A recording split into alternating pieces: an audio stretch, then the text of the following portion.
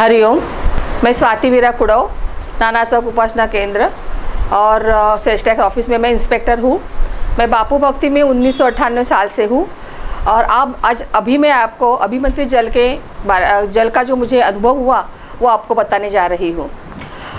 दो साल से मेरी एक प्रॉपर्टी मुझे बेचनी थी सिंधुदुर्ग सिंधुदुर्ग ज़िले में, कुड़ाल नाम के गाँव में मेरी प्रॉपर्टी थी। तो मैंने दादा से सलाह की थी कि दादा, ये पड़ी पड़ी है, मैं इसे बेचूँ। तो दादा ने मुझे हाँ कर दी थी।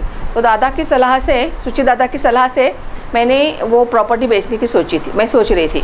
दो साल से मैं बहुत प्रयास कर रही थी, लेकिन कोई आ ही नहीं रहा था। पिछले दो महीने से तो मैंने सब एजेंट को बोला था कि कुछ भी करके मुझे सेल करना है, आप कुछ भी करके कोई भी हो तो मेरे पास लेके आना।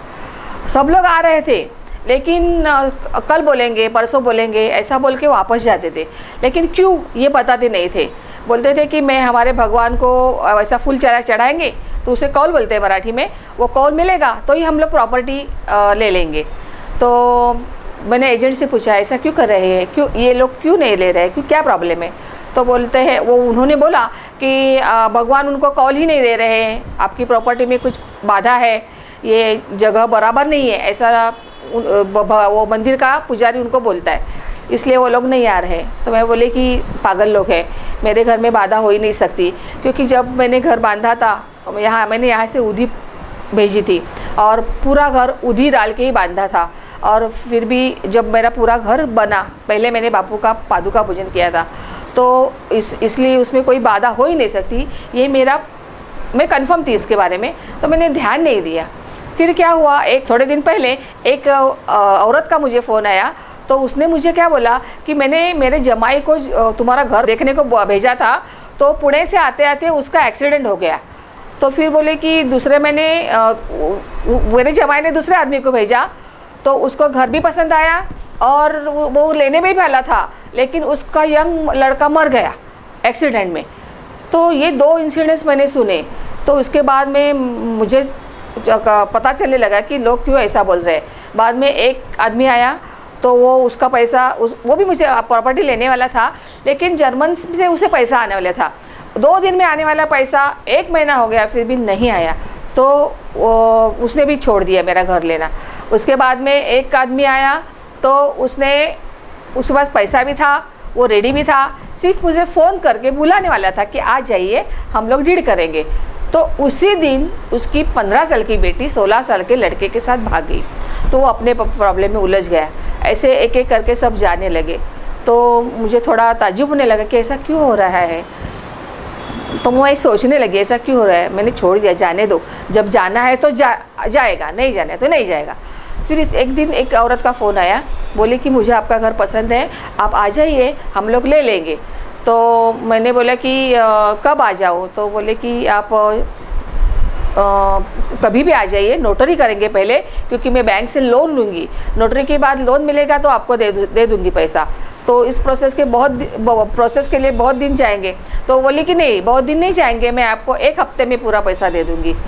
तो मैं बोली दूसरा तो कोई गिराई आ नहीं रहा है तो मैंने उसको हाँ बोल दिया। मैं बोली शनिवार को मैं आती हूँ और फ्राइडे नाइट को बैठ के शनिवार को आती हूँ। शनिवार को हम लोग पेपर्स प्रोसेस करेंगे तो मंडे को बैंक में जाएँगे तो तीन दिन में मुझे लोन आपको लोन मिलेगा, मेरा काम गुरुवार तक हो जाएगा। एनी हाउ मुझे गुरुवार में आना ही था, क्योंकि उस दिन अभिमंत्री जल मिलने वाला था।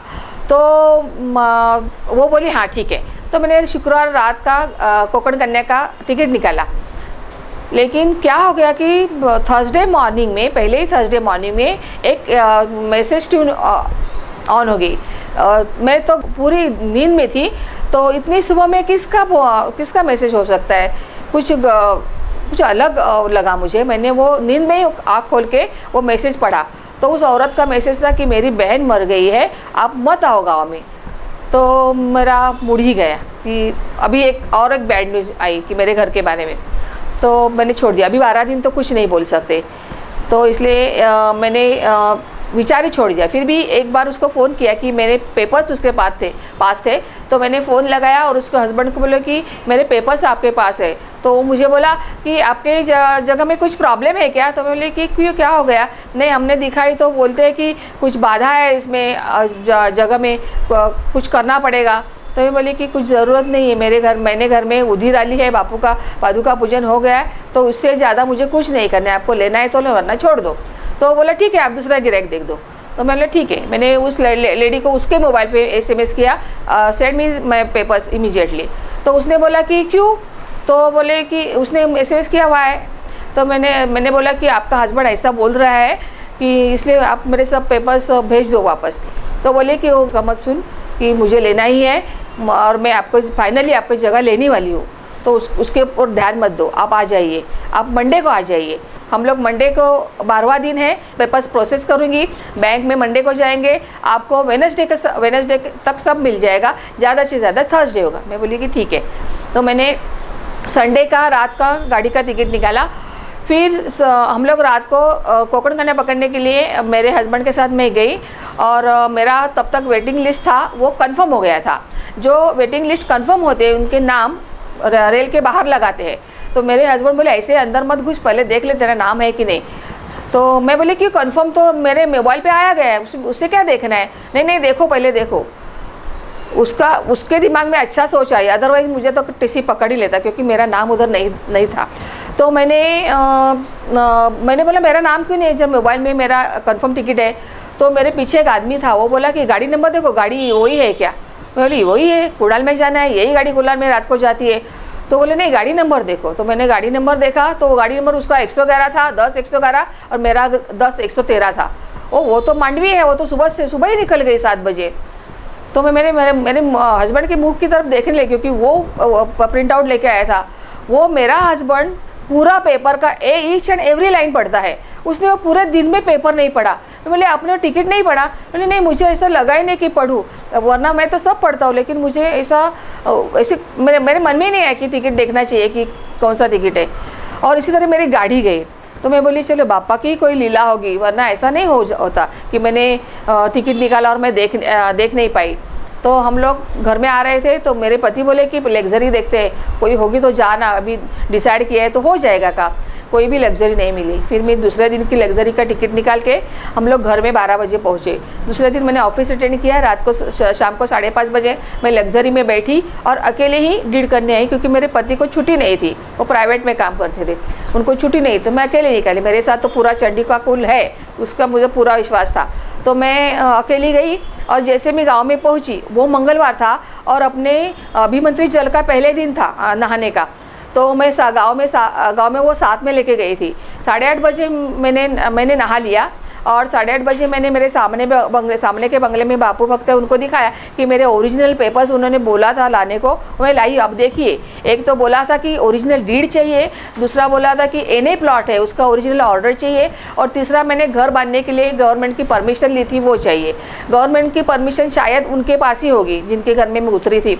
तो उन, इसलिए मैंने नहीं लेके आई थी। मैंने उनको पूछा आपके पास है क्या? बोली मेरे पास तो कुछ नहीं है आपका। मेरे पास नहीं लिया। चलो, एक डॉक्यूमेंट तो कम हो गया, अभी क्या करेंगे? अभी तो वो नहीं लेगी। तो मैंने दूसरे दो दिखाए। तो वो बोले कि दूसरा भी ओरिजिनल नहीं है तो जेरोक्स है। ओरिजिनल कैसा होता है, उन्होंने निकाल के दिखाया। हम सब, आप, ये सब एरिया का प्लॉट एक ही एक ही टाइम पे अलॉट हुआ था।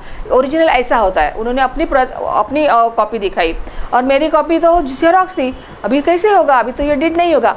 मेरा, मैं पूरी नर्वस होगी। अभी तो मेरा ये घर नहीं जाएगा। मैंने उसी दिन डिसाइड किया, रात की गाड़ी पकड़ के घर में जाएँगे और कभी भी ये घर नहीं बेचेंगे, सोचेंगे भी नहीं घर घर बेचने का।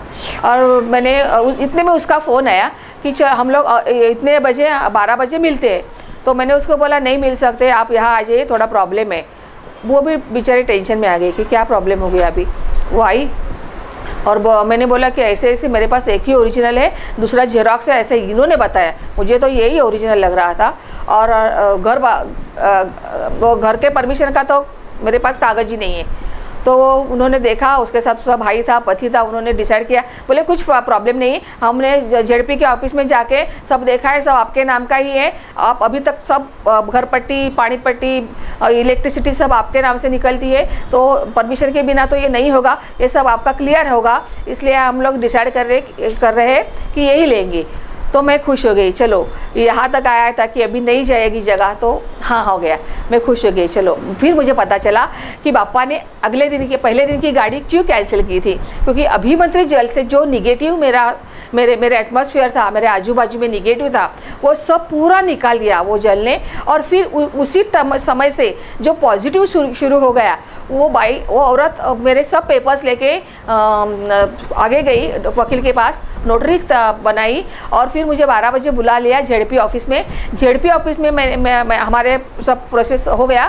साढ़े तीन बजे हमारे हमारा जेडपी के सामने रजिस्ट्रेशन ऑफिसर के सामने हमारे साइन हो गई दोनों की। चार बजे हम ऑफ़िस से बाहर निकले और चार बजे के बाद साढ़े पाँच साढ़े चार बजे वो लोग बैंक में गए मेरा पेपर्स लेके।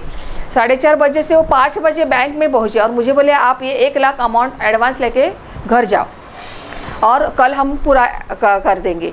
फिर वो बैंक में गई, बैंक में गई और रात को नौ बजे उसका फ़ोन आया कि मैं बैंक में बैठी हूँ, बैंक में हमारी पूरी प्रोसेस हो गई है। आपके नाम का डीडी निकाल गया डिमांड ड्राफ्ट तैयार हो गया है। हम लोग कल मिलेंगे। आप मुझे ओरिजिनल पेपर्स दे दीजिए, मैं आपको डिमांड ड्राफ्ट दे दूँगी। रजिस्ट्रेशन ऑफिसर के सामने हम दोनों की साइन हो जाएगी। अपना व्यवहार इधर क्लियर हो गया। इसी तरह से 12 घंटों में सुबह नौ बजे यस उस उस लेडी ने बोला, रात को नौ बजे उसका फ़ोन आया. यस आपका डीडी रेडी है. बारह घंटे घंटे में त्रिविक्रम ने अपना काम कर दिया था। ये त्रिविक्रम हम सब के हृदय में तो हमेशा पूरा का पूरा रहता है। लेकिन उसके तीन चरण कहाँ थे? मेरे लिए उसका एक चरण उस औरत के बुद्धि में था, जिसके, जिसने उसे बनाया कि नहीं, इसका ही घर ले ले। दूसरा था झेड़पी ऑफ़िस में। एक ही दिन में सब, आधे आधे ही दिन में सब कार्यवाही हो गई। और तीसरा था बैंक में। कि बैंक के आवाज़ ना होते भी ओवर टाइम करके उन्होंने उस लेडी के लिए काम किया था। ऐसे वो तीनों जगह काम करके मेरा 12 घंटे में त्रिविक्रम ने काम कर दिया था और इसी तरह मेरा पूरा प्रोसेस जो दो साल से रह गया था, वो 12 घंटे घंटे में त्रिविक्रम ने कर दिया। ये मेरा त्रिविक्रम जल का अनुभव है। हरिओम, मैं अम्बज्ञ हूँ।